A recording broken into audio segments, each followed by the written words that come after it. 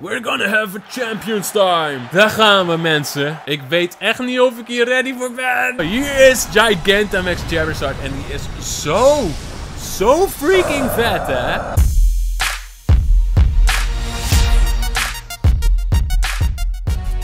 Yo Nintendo fankies, yo Rikachu Army. Wil je ook bij de Rikachu Army? Druk even op die rode abonneerknop hier beneden. Is gewoon gratis, dus kan je gewoon doen. En dan ga ik verder met Pokémon spelen. En oh, we moeten Leon gaan verslaan jongens. En ik weet, Leon heeft Pokémonies van level 65. En ik heb dit. Dus ik weet niet zo goed of wij Leon gaan verslaan jongens. Want het is...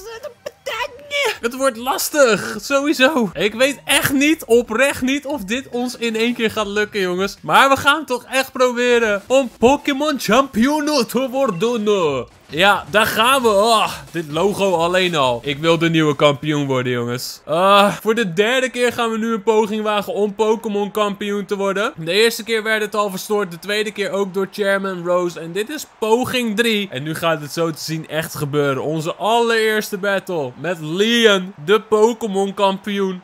Met een level 65 Charizard. Ja, ik weet al dat de Charizard level 65 gaat zijn. Jullie hebben me gewaarschuwd. Hoe gaan we die Charizard ooit verslaan? Leon zegt, ik heb nog nooit gezien dat het publiek zo wild is geworden als dit. Iedereen weet wat je deze week voor ons hebt gedaan, Rikachu. Jij bent degene die Eternatus heeft gevangen. En de toekomst van Galar hebt gered. Een echte held. Die samen heeft gebatteld met de legendarische Pokémon Zacian en Zamazenta. En ik had nooit kunnen dromen voor een betere uitdager om mijn winning streak hoger te laten worden. Ja, ja, oké. Okay. Zegt, oh, en je hebt Eternatus zelfs in je party gedaan. Die heb je meegenomen. De beste challenge ooit, met de sterkste Pokémon ooit, is dat het. Nu wordt hij pas echt enthousiast. Kom op, Rikachu. Laat het een finale wedstrijd worden die de historie van Galar ingaat. Nee, een wedstrijd die Galar voor altijd zal veranderen. We're gonna have a champions time. Daar gaan we, mensen. Ik weet echt niet of ik hier ready voor ben.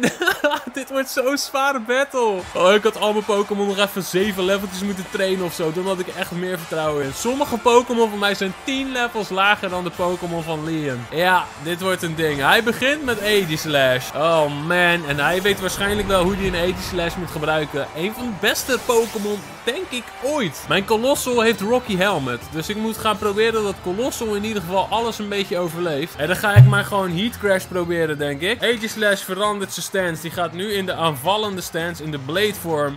En dat doet hij Sacred Sword.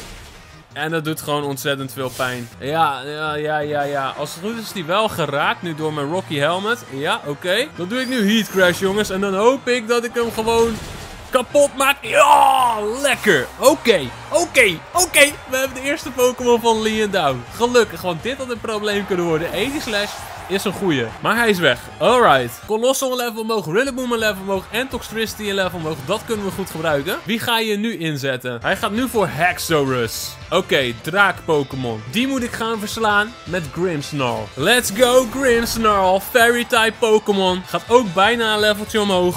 Daar is Hexorus. Oké, de tweede Pokémon van Leon. Ik begin gewoon met Draining Kiss. Hexorus is snel. Die doet... Oh... Daar gaat mijn Grimmsnarl. Hij kent een ijzer move. Ja, ja, ja, ja, ja, ja. Nou kan ik Eternatus in gaan zetten en dan hoop ik dat ik sneller ben. Daar is hij. Eternatus. Dynamax Cannon. Ben je sneller? Oké, oké. Hij is sneller. Ah, hij is sneller. Ga ik hem one-shotten, die Hexorus? Ik denk het niet. Ik denk niet dat dat gaat lukken. Ja, dat gaat wel lukken. Ja. Lekker jongen, Eternus is zo sterk. Holy shit, die is zo sterk. Oké, okay, nu Seismitoad. Seismitoad moet een prooi worden van Rillaboom. Hier is Rillaboom. Alright, ik moet echt alles one-shotten. Als ik niet one-shot, word ik volgens mij zelf gewoon continu gewone-shot. Oké jongens, Seismitoad, level 64 hè. Hij is 5 levels hoger. Ik doe drumbeating. Ik moet hem one-shotten. Kom op, kom op. Bap, bap, bap, bap, bap, bap. Rillaboom. Ja! Dit gaat super lekker. Hoeveel Pokémon heeft hij nog over? Ik denk drie. Hij komt nu met Cinderace. Ja, ik, ik, denk niet dat, ik denk niet dat ik dit ga overleven. Ik denk niet dat Colossal dit aan kan. Grote kans dat Colossal nu down gaat. Dan wil ik hem wel graag een max revive gaan geven straks. Leon heeft nog drie Pokémon over. Ik kan natuurlijk ook Stealth Rock gaan proberen als ik dit overleef. Hij doet Acrobatics. Ja, nice. Dit is wel top eigenlijk. Hij is geraakt door Rocky Helmet en ik doe Stealth Rock. Dus de twee Pokémon die hij nu nog erin gaat gooien, die pakken sowieso damage. Dus dat is nice. Ik had deze move misschien ook aan het begin kunnen doen. Maar toen ben ik gewoon all-out attack gegaan. Ik doe nu Ancient Power. Hij doet weer acrobatics. Wat? Heb je geen fighting type move? Ga ik je gewoon zo slopen, Lian? Ga je dit doen, hè? Ik dacht dat Cinderace sowieso een fighting type move over had. Maar nee hoor. Dan zou ik nu best wel even een hyper potion kunnen gaan gebruiken op Colossal. Ik denk dat dat op zich een goede... Oh, hij doet ook een full restore. Ah, dit is wel zuur. Hij gaat zijn Cinderace ook even full healen. Ik doe een Hyper Potion. Maar als die Acrobatics blijft doen, dan vind ik dat helemaal prima. Want dat doet niet zoveel damage. En dan kan ik hem gewoon rustig aan slopen met Ancient Power. Ja, hij blijft Acrobatics doen. Dit is een ultiem goede matchup, denk ik, voor Cinderace dan, jongens. Kijk, hij wordt weer geraakt door mijn Rocky Helmet. Ik ga nu een super effective move op hem doen. Top. Helemaal goed. Uh, dan ga ik nu weer... Laat me een super potion gebruiken. Dan is hij weer full health. En dan gaat die Cinderace gaat zichzelf langzamerhand gewoon kapot maken. Door de Rocky Helmet die ik natuurlijk heb met Colossal. Dat is heel nice. Dan ga ik gewoon een Hyper Potion erop gooien op Colossal. En dan gaat die misschien kapot. Misschien moet ik even ook mijn Grimmsnarl reviven nu. Misschien is dat ook wel een slimme. Is die nu dood? Is die nu kapot? Mijn Colossal wordt sneller. Even kijken of ik een Max Revive heb. Ik dacht dat ik een Max Revive zou moeten... Ja, ik heb 9 Max Revives. Laat ik die aan Grimmsnarl gaan geven. Want ik wil Grimmsnarl misschien strakjes nog in gaan zetten. Hij doet nog een keer Pyro Ball. Oké, kom maar op met je Pyro Ball. Dan wordt hij niet door geraakt, want het is blijkbaar geen physical attack. Dan ga ik hem nu slopen met mijn Ancient Power. Ik ben nu ook sneller dan Cinderace. Dat is lekker. Cinderace is down. Alright. Helemaal top dit. Nu heeft hij nog twee Pokémon over volgens mij. Grimmsnarl en Surfetch gaan beide een leveltje omhoog. Hij komt nu met Dragapult. Dat ga ik opnieuw proberen met Grimmsnarl. Alright, let's go. Het is wel jammer dat mijn Grimmsnarl een beetje traag is. Oké, ik ga er wel een beetje vanuit dat Dragapult geen Steel-type moves kent. Dragapult is al een beetje geraakt door de Stealth Rock. Ga ik er nu een Draining Kiss op gooien. Hij is sneller, hij doet Thunderbolt. Die is in ieder geval niet super effective, dus deze kan ik overleven. Ik doe een Draining Kiss en dan ben ik denk ik ook gewoon weer full HP. Ja, dit is lekker. Dit is top. Kijk, nu krijg ik ook weer lekker veel HP'tjes erbij. Nice. En dat gaat straks nog een keer gebeuren. Ga je weer Thunderbolt? Hij gaat weer Thunderbolten. Helemaal goed, Lian. Doe je ding. Doe lekker een Thunderboltje. Dan doe ik weer een Draining Kissie. Dan krijg ik weer HP'tjes erbij. Helemaal toppie. En dan is je Dragapult gewoon verslagen. Hoppa! Lian heeft nog één Pokémon over. Nou, we gaan Pokémon kampioen worden. Ik denk het wel. Dit kan haast niet meer missen. Oké, maar nu. De grootste uitdaging. Zijn Charizard. Zijn Charizard is level 65. Het is een Fire en een Flying type. Dus dat houdt in dat rock aanvallen super sterk zijn tegen hem. Ik ga eerst Eternatus inzetten. Dit is puur en alleen om klappen op te vangen. Want ik wil dit eigenlijk gaan doen met Colossal. Dus wat ik ga doen. Ik ga Eternatus niet Dynamaxen, denk ik. Of wel? Nee, ik ga hem niet Dynamaxen. Oh! Charizard krijgt super veel pijn. Kijk hoeveel pijn Charizard heeft door de Stealth Rock. Wat? Zal ik dan wel gewoon Dynamaxen? Maar als ik een Dragon type move op mijn bakkers krijg, dan ben ik gelijk dood. Laat ik dat niet doen. Ik ga gewoon Dynamax Cannon doen. Zijn Charizard is sowieso wel sneller. Hij gaat Gigantamaxen zelfs. Alright, ik ga het op safe spelen, jongens. Ik hoop dat ik deze eerste klap gewoon overleef en hem kan terugklappen. Hier is Gigantamax Charizard. En die is zo zo freaking vet, hè?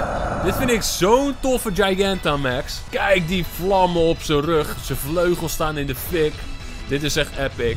Hij doet max rockfall. Die doet altijd heel veel pijn. Is niet super effective. Ik kan dit gewoon overleven. Oh jongens, Eternatus is kapot sterk. Jullie zien het. Ik doe Dynamax Cannon. Ik ben benieuwd hoeveel pijn het gaat doen op Charizard. Ik ben heel erg benieuwd. Ga ik hem hiermee al verslaan? Of niet? Oh! Zonder te Dynamaxen. Zonder te Dynamaxen. Hoe doen we dit? Gewoon zonder te Dynamaxen. What? Dit is wel een episch einde om Pokémon kampioen te worden. Zijn freaking Charizard die 5 levels hoger is. We slopen hem zonder te Dynamaxen. Met de ultieme Pokémon. Dat wel. Eternatus is zo sterk. Rillaboom gaat de level omhoog. Eternatus gaat de level omhoog. En Colossal gaat ook nog naar de level 60. Oh, wat lekker zeg. We hebben echt een lekkere battle neergelegd hoor. Oh. Liam, kan je dit nog tegen? Ja hoor, hij gooit zijn cappy. Nice. Ja, kijk, dit is een trotse man. Hij zegt, mijn tijd als kampioen is voorbij. Maar wat een kampioenschap is het geweest. Dankjewel voor de beste battle, de mooiste battle die ik ooit heb gehad. En nu jullie deze battle hebben gezien, ben ik natuurlijk heel erg benieuwd wie jullie favoriete Galar Pokémon ooit is, jongens. Laat het weten in de reacties hieronder. We hebben het gedaan. We hebben het gewoon gedaan. Gefeliciteerd Rikachu. Je hebt de unbeatable, de onverslaanbare Pokémon kampioen gewonnen. verslagen. ik word eigenlijk helemaal in de war. Jij bent de kampioen van Galar. Hier, gefeliciteerd vanuit het diepst van mijn hart. We staan op het grote schermpje. En nu zo sterk ben geworden. Misschien moet ik zelf ook maar eens vooruit gaan kijken, zegt Leon. We zijn volwassen. We moeten dit allemaal gaan verbeteren, de wereld van Galar. Ja, word jij de nieuwe chairman, uh, Leon? En you Rikachu, wat jij moet gaan doen is in jezelf geloven en in partner Pokémon. Marnie is van de partij, BD is van de partij, Hop is van de partij. Iedereen is van de partij, ze hebben het allemaal gezien. We zijn Pokémon kampioen, mensen van Galar. Een nieuwe legende is geboren hier voor jullie ogen. Jullie kampioen, Rikachu. Nice hoor. Piu, piu, piu, vuurwerk. Oud en nieuw. Wat een mooie oudejaarsvideo is dit jongens. Gelukkig nieuwjaar. Vuurwerk. Heel nice. Yay. Pokémon kampioen. Ja hoor, the end. Althans, wat? Het is helemaal niet het einde, want we hebben Session of Samazenta nog helemaal niet gevangen. Zag je wat er gebeurde? Het is helemaal nog niet het einde. We zijn Pokémon kampioen, maar dit is het nog niet. Kijk, zie je, de bel gaat. We zijn weer terug bij mijn moeder in huisje. Hier is Magnolia. Gefeliciteerd kampioen. Ik heb hier iets om je te feliciteren. Oh, ja, ja, een Masterball. Super nice. Met een Masterball kan je natuurlijk iedere Pokémon vangen die je wil. Zonder dat hij faalt. Het is 100% catch rate. En mijn moeder zegt, Professor Manolia, je had echt niet helemaal hier naartoe hoeven te komen. Maar Manolia zegt, ja, nou dat ik heb gezien wat Rikachu heeft gedaan, het is wel het minste wat ik kon doen. De Wishing Stars die het mogelijk maken om te Dynamaxen, zijn mogelijk delen van Eternatus. En Eternatus is wakker, dus Dynamax energie vloeit over de hele regio en daarom zijn er overal Dynamax Pokémon verschenen. En die bezorgen voor allerlei problemen in Galar. Maar Rikachu en zijn vrienden hebben het allemaal gered. Het Dynamax fenomeen is al heel lang een heel belangrijk deel van de Galarian cultuur. En ik hoop dat iedereen het Dynamax kracht op een normale manier gaat gebruiken in de toekomst. Dus, jonge Rikachu, doe wat jij denkt dat het beste is. Oké, Magnolia, leuk dat je langskwam. Bedankt voor de Masterball. En mijn moeder zegt, arme professor Magnolia, volgens mij zit het er heel erg dwars wat Chairman Rose heeft gedaan. En ze heeft hem zo vaak geholpen. En nu heeft hij dit gedaan. Is niet oké. Oké, nou, laten we eens eventjes naar buiten gaan. En laten we eens even kijken wat we nog meer kunnen gaan doen. Waar moeten we naartoe? Ik denk dat we gewoon nu naar het bos moeten om Session of Zamazenta te gaan vangen. Oh, maar wat ben ik trots op mijn teampie, jongens. Dit zijn de kampioenen van Galar. Colossal en Grimmsnarl. Goed gedaan. Rillaboom had zijn aandeel. Surfetch niet gevochten in de laatste battle, maar heb ik wel heel veel aan gehad. En hetzelfde geldt natuurlijk voor Toxtricity, wat een baas.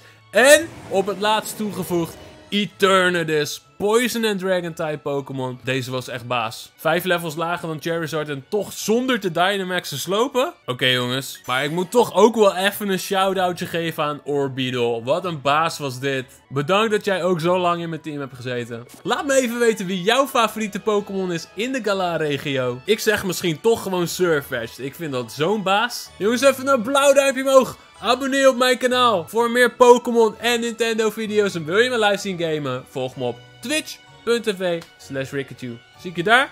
Of gewoon bij de volgende video. En gelukkig nieuwjaar. Mazzel!